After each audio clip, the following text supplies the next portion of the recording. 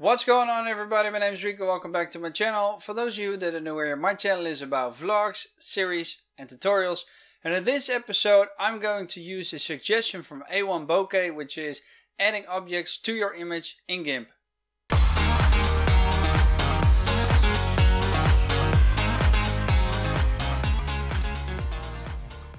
And this is the image that we're going to work with today. The first thing that we need to do is we need to add an alpha channel. If it doesn't have an alpha channel already, you can go to here, right mouse button and then add alpha channel. That means that if I'm using the eraser tool and I'm erasing the image like so, you will see a transparent layer. So let me undo that. There we go. And the first thing that we need to do is we need to select the sky because that's where the airplane will be. There are a couple of tools to do that. The first tool is the path tool, the second tool is the magic wand tool or the fuzzy select tool. And then you've got the free select tool. And then obviously you can use the ellipse select tool and the rectangle select tool as well. If you use the path tool you have to click it and then you can make points like so and then move around it hit control and then hit the first point and then hit enter. And now you see moving ends which means that this is the area that you've selected. If we hit delete that part of the image is now gone. So let me undo that by ctrl z. I want to get rid of the paths as well. There we go. Now let me show you the lasso tool. That means that if you click and you hold the mouse button you can just drag a line like so and then go back to the start, hit control again, click it, hit enter and now you see this area is being selected. If I hit delete, only that part of the image will be deleted. So let me undo that as well. And the final way is using the fuzzy select tool. So let me click it and then click inside the sky. Because this has all the same pixels, the sky is being selected. So let me hit delete. And now we've got rid of the sky. So let's go to select none. That's very important after you've used a rectangle select tool or the ellipse or the fuzzy select, after you've done what you wanted to do, please go to select and then click none to make sure that you can edit the image accordingly again. So let's go to the airplane and let's uh, drag it over here to make it a new layer. And now as you can see the airplane is behind the mountains. The scale is very off so for that we are going to use the scale tool going to click inside this I'm going to drag it. If this changes uh, the aspect for you what you need to do is hit the shift. So if this is happening for you you need to hit the shift and then you can drag it accordingly. So just make sure that it fits your image perfectly. Like so maybe a little bit bigger. There we go. Hit scale and if you've put the layer beneath the original layer, that means that the airplane will be behind the mountains. And if you place it above it, it will overlap it. So I'm going to place it beneath it, like so. I'm going to change it around a little bit as well. There we go. I think I need to increase the scale a little bit. There we go. Scale it. I've got a lot more room to work with. There we go. I think this looks pretty fine. Kind of looks ridiculous, but that's the whole point. Now I've deleted the sky, I've added a plane into it. I want to match the colors a little bit because this is very bright and this isn't. So for that I'm making sure that I select the original layer and then I go to colors and then I'll go to curves. I'm going to increase the contrast by dropping the shadows a little bit. I'm going to increase the highlights and the midtones as well. Now watch what happens to the image. It becomes a lot more bright, which matches uh, the airplane. I've overdid the uh, shadows a little bit, so I'm going to decrease it like so. And as you can see, the changes are being applied. So let me hit OK. And for the airplane, I'm going to the colors. And I'm going to the brightness and contrast. I'm going to drop the brightness a little bit. Just to make sure it blends in a little bit more. There we go. Let's hit OK. And now we need to add the dog. So I'm going to Nacho and I'm going to drag it as a layer here as well. And the first thing that I want to do is I want to move it around to where I want the dog to be, which is over here. Well, a little bit like that.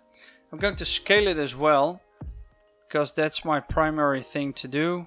Let's see. I think this will look fine. Let me hit scale. Let me move it around a little bit. Maybe this will be the place. It's a bit big, so this looks fine, I think. There's two ways to do this. Uh, now it's on top of the image, so we can use the path tool and then zoom in. And then we can create a path around Nacho, very precisely, like that. So I'm going to uh, do this and then I'm going to show you guys how to feather this. So I'll be back in a minute. There we go. So now let me hit control and then click the first. And now I need to hit enter and that activates the marching ants. And what I want to do right now is I want to feather it a little bit. And for that I'm going to select feather. And for this I'm going to use 3 pixels. You can increase this to 5 maybe for this image, but I'll do 3 just in case. So let me hit OK. And now it's feathered a little bit. And what I want to do is I want to edit, copy, and then edit, paste as new layer. Now the dog has been pasted as a new layer and I can remove this layer. There you go. And now you see that the dog is the only thing on the image. So let's go to select, none to get rid of the selection. And let's just press the move tool so that I get rid of the points as well. And there you have it. Now I've added a plane in the sky and my dog on the road, which looks ridiculous. Obviously you can tell this has been Photoshop, but that's the whole point to exaggerate it and to show you guys how it works. So that's one way to add the dog. I want to show you guys a different way. So for that I'm going to uh, undo everything that I've just done. There we go. And what I want to do is I want to place this layer of the dog beneath this layer. And I want to change the opacity of this layer. I'm going to change it to, let's say, 34. Just enough so that I can see the dog. I'm going to zoom in a little bit.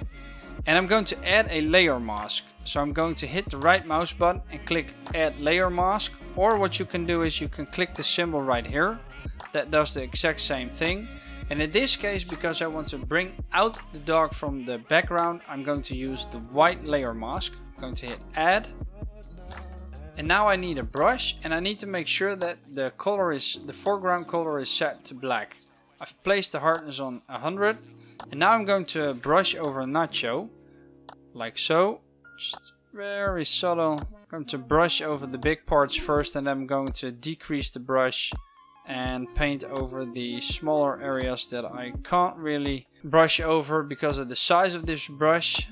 So let me do that and then I'll be back in a minute. There we go, so I've brushed over Nacho. Now let me increase the opacity again to 100%. And there you go, there's my dog as well. So that's another way how you can add things into an image by using a layer mask and then painting over it. And then let's say uh, you've painted a little bit too much, so you see the green areas over here.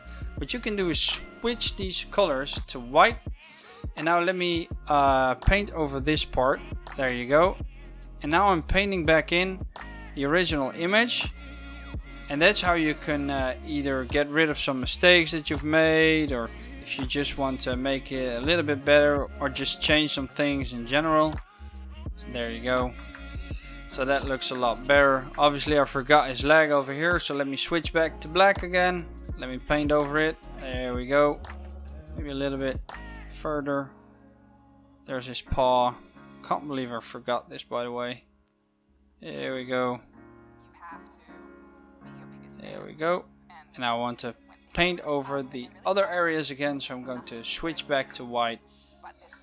I'm going to decrease the brush size a little bit to be a bit more precise.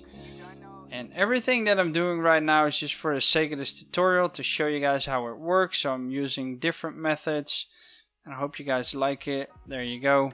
So let me fast forward this for you guys and show you guys the end result. So there you go. I think that looks pretty fine for now. Uh, so that's it. I showed you guys a couple of ways how to add items into an image. Uh, a week ago I showed you guys how to remove things from an image. So I hope you guys like it. I'll link the video up here. And that's it. I hope you guys liked it. Let me know in the comment section down below. I would love to hear your thoughts.